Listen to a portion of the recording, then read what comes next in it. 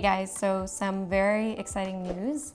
Have a new little member of the family that's gonna be joining us, a little crested gecko that I have a deposit down on, haven't picked him up yet. So naturally, I want to make a vivarium for him. Crested geckos like high humidity, they like around like 75% or 70%. A lot of people go with bioactive enclosures for them and I have a few plants that I have kind of been trying to find new homes for and I just feel like they would probably do well in here where they can just kind of like grow and do their thing. So yeah, that's what we're gonna do today. We're gonna set this new tank up. Now I got this secondhand. I already spent a ton of time cleaning it. It's not perfect. It has some like really intense like hard water deposits or something. Like I, I've spent so long trying to get it off already that it's just, it's not gonna be perfect, but it'll be, it'll be good enough. So I'm gonna do a layer of leca on the bottom. Uh, I don't have that much leca, so I'm not sure if I actually have enough. A tank like this, so this is 18 by 18 by 24 inches. That's kind of like the recommended size, I guess, for like an adult crested gecko. So it actually is like a fair amount of volume to fill up. I remember that when I put my frog tank together, like you need more substrate than you would think. So we'll see, it might not be a very big layer of leca, but anyways, I'm gonna go rinse that now.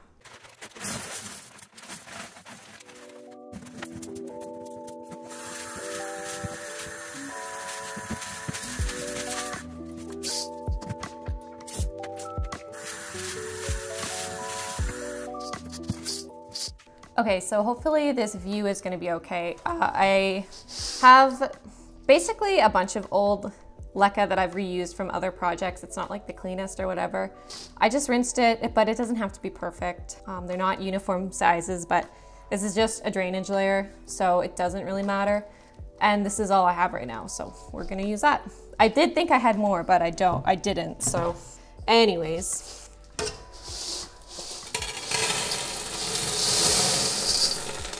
Now that doesn't even look like enough to cover the bottom, does it?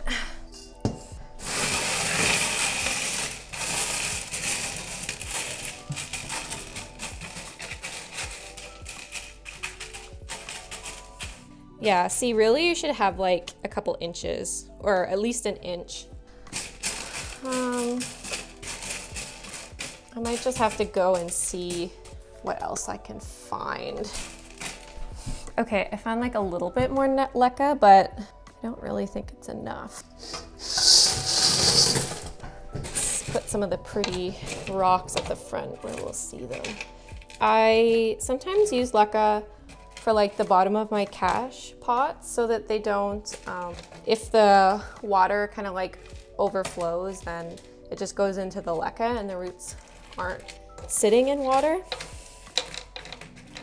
So I stole some leca from some of my pots, but this still isn't really as much as I'd like. But it's it's okay. I think as long as I'm, like I could buy some more leca, but I, I literally been saving this leca for like years since I built my vivarium. Like I don't use leca for very much. I, I don't really prefer it as a planting medium. So kind of the whole point of this project was to use up some stuff that I already have. So I don't really want to go out and buy anything new. So I think that'll just have to be, it'll just have to be good enough. What I'm going to do now is I have some mesh material. I bought some more. I actually bought like a screen replacement kit. So the lid, the top of this, it was like a metal screen and I just, it was very uh, rusted. So I think I did that when I got my frog tank as well as I replaced the screen. It's pretty easy to do. I've done that with like a few reptile tanks now. So I already cut it, I already did that. I already fixed the screen and now I have some extra and I'm going to use that to just do an, an interface layer between the drainage and the main substrate. So I cut it about like that in a square, that should be good. It doesn't have to be perfect. Got this kit from Amazon and I will leave links for all the products I use. If not the exact ones, then something, you know, equivalent because sometimes things just go out of stock randomly on Amazon. There, let's see. Mm, okay, it's a little big. And I don't measure anything when I'm doing this kind of stuff. That just, I don't know, takes the fun out of it.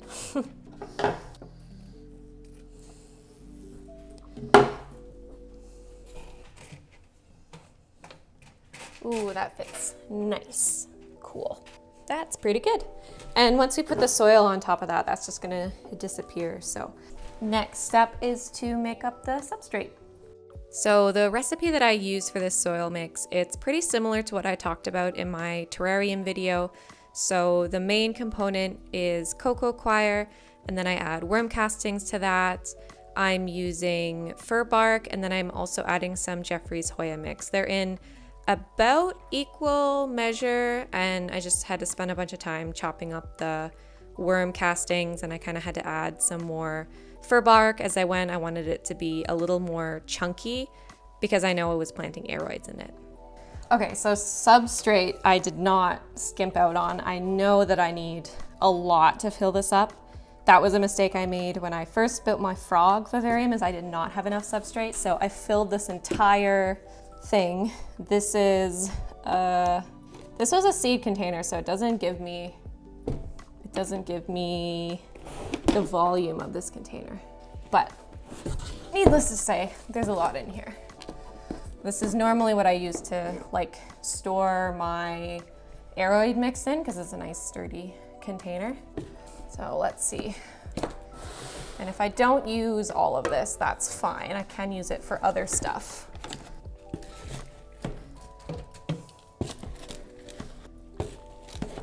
If I have to go and make more of this, I'm gonna be very disappointed.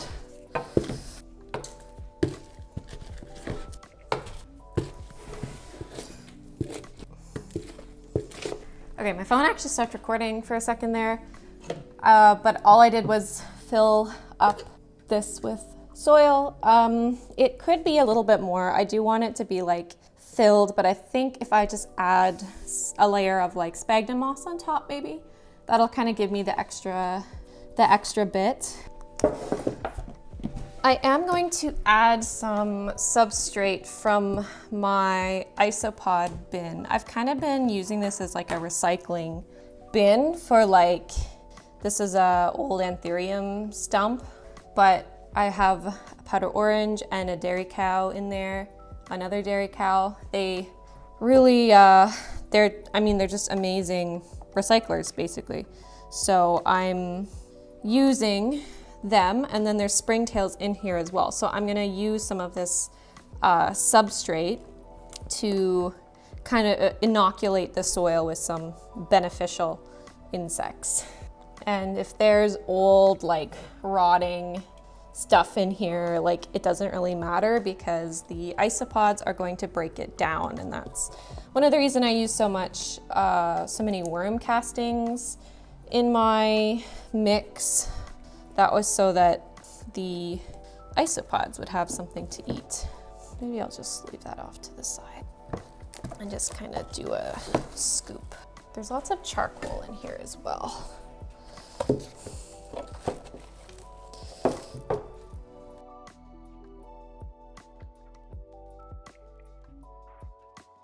This is basically like old terrarium substrate.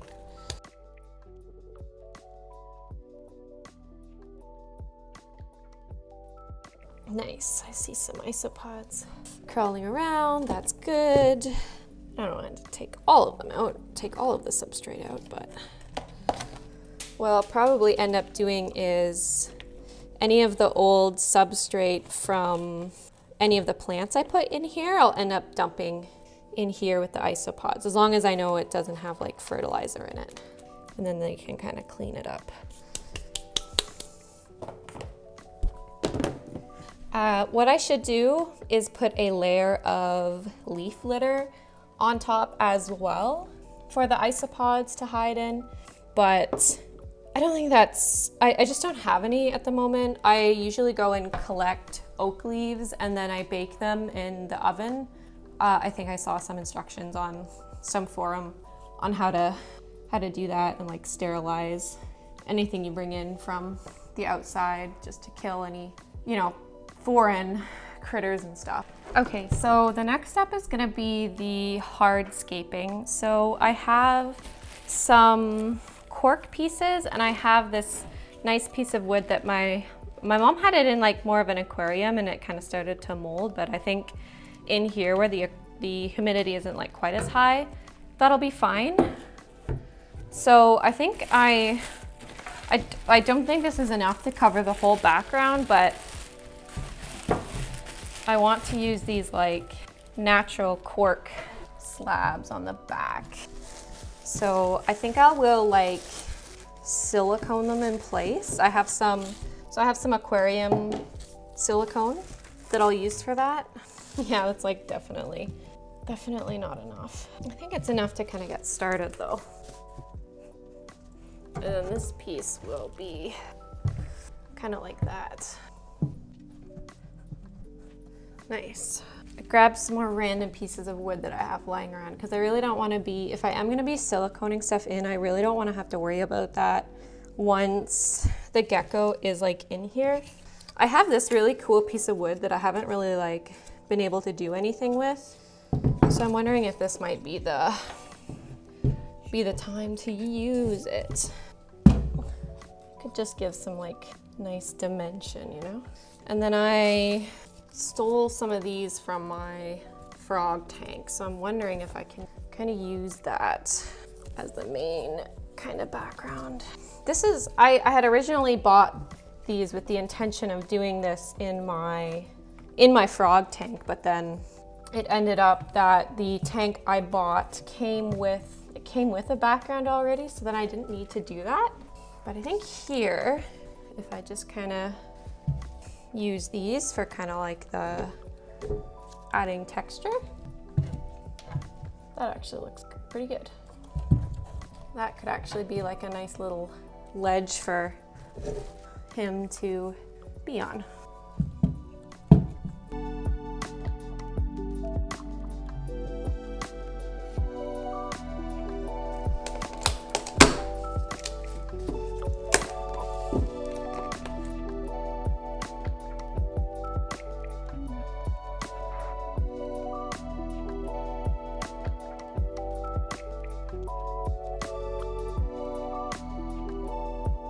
Okay, so I've gone and stolen some pieces of cork out of my frog vivarium. These were never like glued in or anything. I just kind of put them in there to give them these guys something to grow on and that'll actually give this tank a really nice kind of like head start. And then I can just use my other pieces of cork as kind of like accents. So let's, uh, it's like instant instantly bioactive. See, these aren't even attached. They're just attached now with the roots. Plants are ridiculous. So this cork I got a while ago on Amazon as like it was meant to be like a used for like a bulletin board or something. You know what, why don't I just start using some of this silicone to attach these guys. I think this will work. If not, I have, might have to go with something else. okay, that'll make this easier. And that's pretty good, just eyeballing it. Okay, well let's cut this other piece then, the same.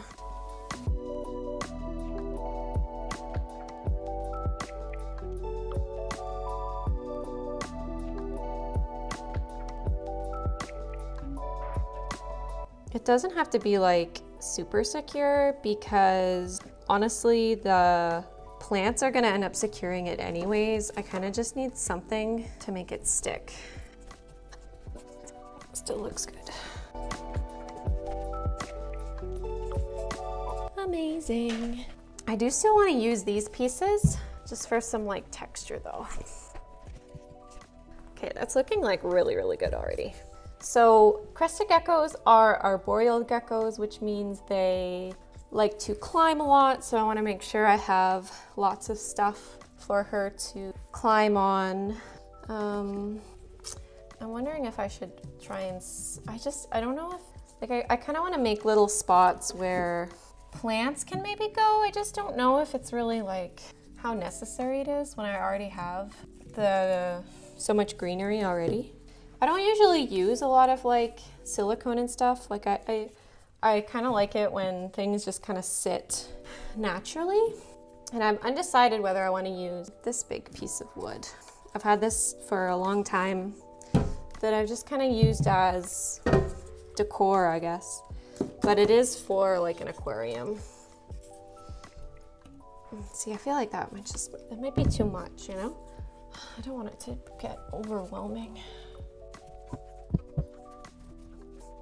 I'm just worried if I have like too many different types of wood, it's gonna kind of look not very cohesive, but that would end up being like a good spot to put plants, I think. Ooh, I could stick that piece there. That would look good. I feel like you're almost getting the effect of like tree, two trees. Okay, I might have to stick this guy on. Don't know if he'll stay, but we'll try.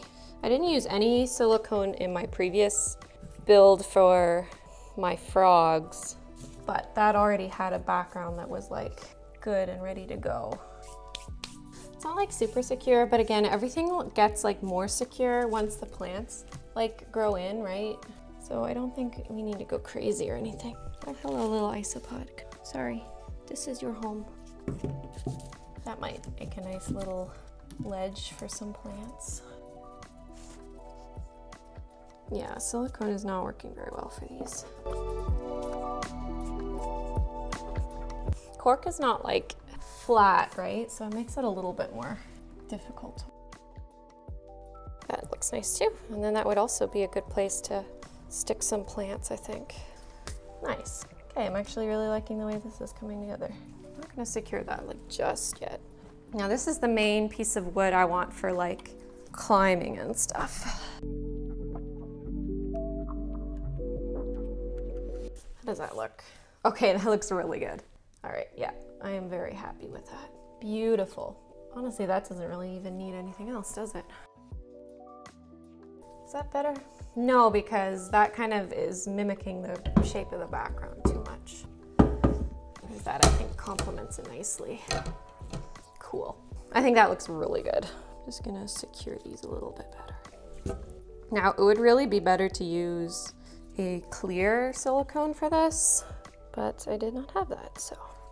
Now, if I was more patient, I would let all the silicone dry for like 24 hours before monkeying around with anything else, but I am impatient and I want to plant some plants in here ASAP. I know I will probably add more on the background later. I think I'm not gonna try and touch any of like those areas, but for some of the like terrestrial plants, like I just kind of have, I just kind of want to plant it, you know, and get it like, get it going.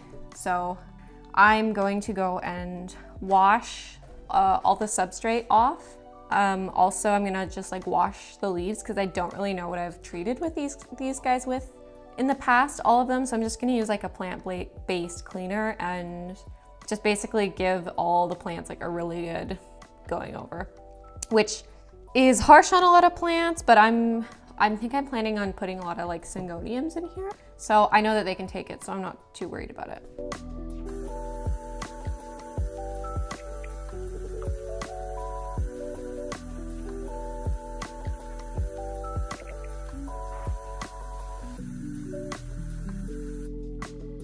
Okay, sorry, you'll have to bear with me. My phone like stopped recording again because it was out of storage.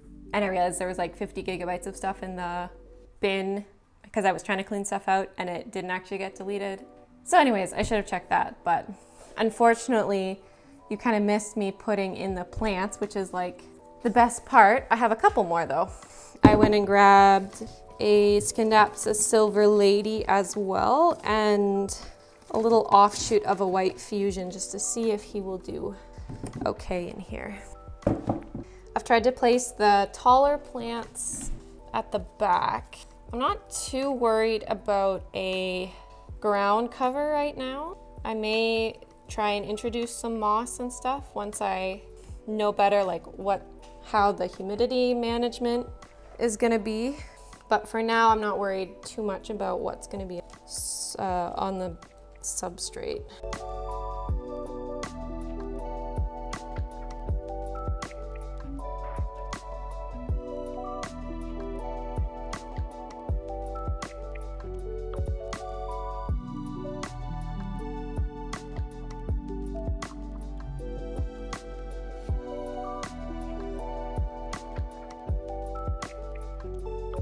Probably could add more stuff to this, but I don't think I'm going to. I think I'm just gonna let it grow in the way it is for now. And it'll probably be a few weeks until like editing this video. So I will do an update of how it looks.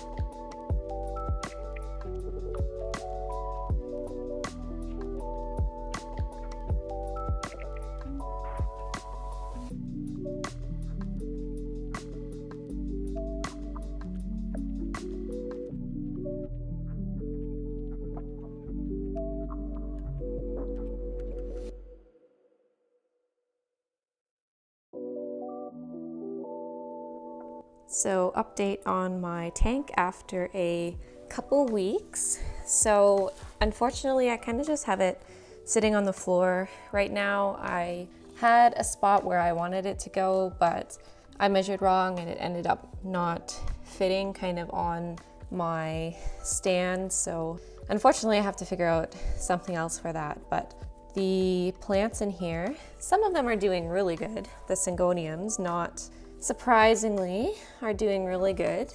The Scindapsus is doing really good. The pink splash, now that one most, I accidentally broke it off when I was washing the roots, but I did plant up the base and the base has a few sprouts on it, so I'm not too worried about that one looking bad. The Brevirimosa did die, so I planted my begonia Sinbad in here instead. I added a little pink lady, peperomia. The white fusion is still doing good.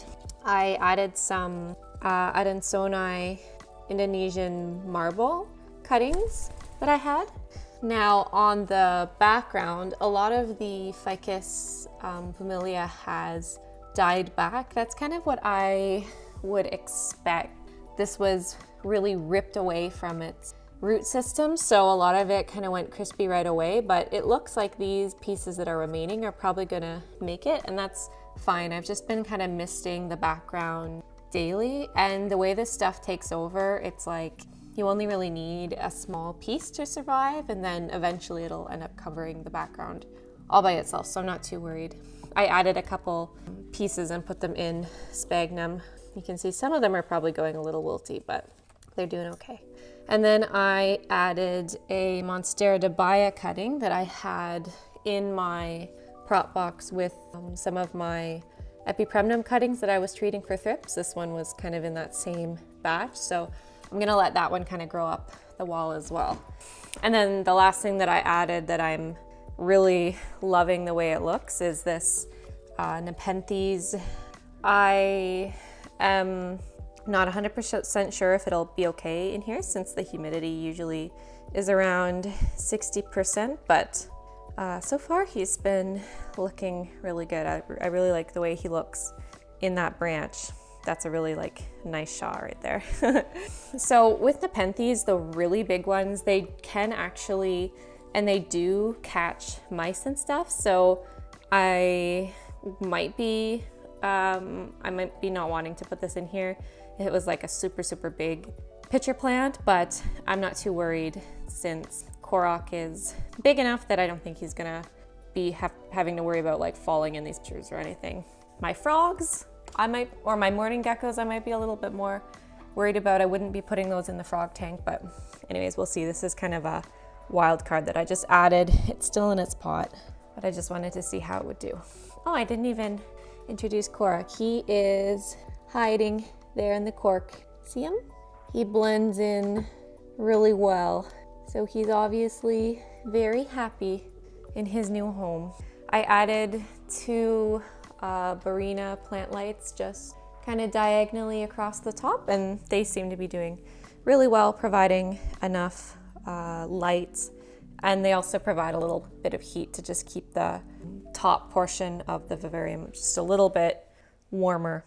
I probably will add a basking bulb and probably a UVB specific bulb at some point, but for now I'm pretty happy with how the temperatures and everything have been holding. So yeah, overall pretty pleased with how this setup is going and I will continue to do updates.